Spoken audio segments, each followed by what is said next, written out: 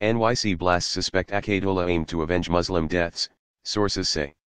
The suspect in the New York City subway blast Monday told investigators he detonated a crude bomb after he spotted a holiday display and did it in the name of ISIS to avenge the deaths of Muslims around the world, law enforcement officials said.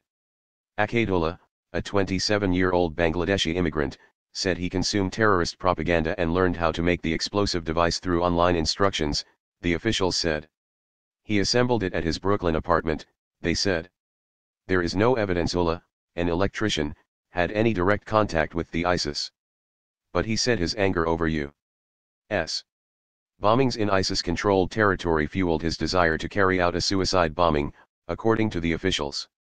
He used Velcro-like fasteners and zip ties to attach the bomb made from a pipe, a 9-volt battery, matches and Christmas tree lights to his body, according to police. He found the pipe at a job site and bought the rest of the materials himself, he told investigators. Related, NYC attacker wore low-tech explosive device. Mindful of ISIS threats time to Christmas, he decided to set off the device in a crowded subway passageway near the Port Authority bus terminal because he noticed a holiday image there, the law enforcement officials said.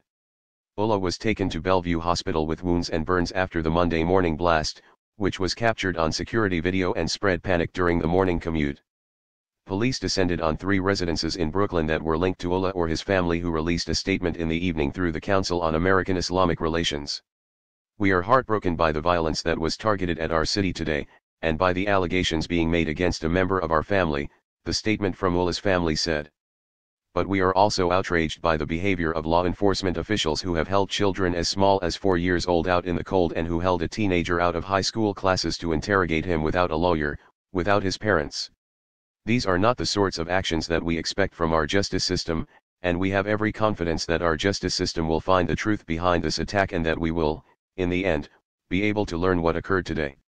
Ullah came to the United States from Bangladesh with an immigrant visa on February 21, 2011. He is a legal permanent resident with a green card.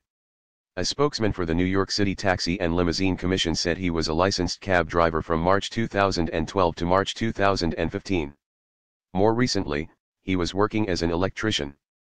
Law enforcement officials said Ullah, who had traveled abroad numerous times since moving to the U.S., didn't raise any red flags before Monday. He only had several traffic tickets on his record.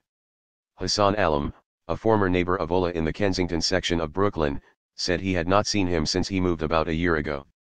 I'm actually very shocked, he said. Because he was a religious person and very quiet, not very outgoing.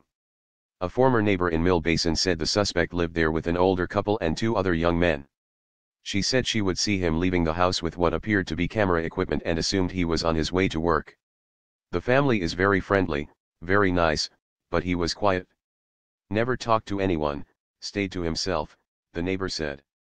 NBC News reached a relative of the suspect by phone. He was unaware of the incident and declined to comment.